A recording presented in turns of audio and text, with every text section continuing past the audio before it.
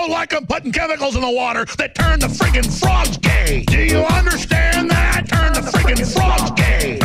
Serious crap. Gay. Frogs, friggin' frogs. It's not funny.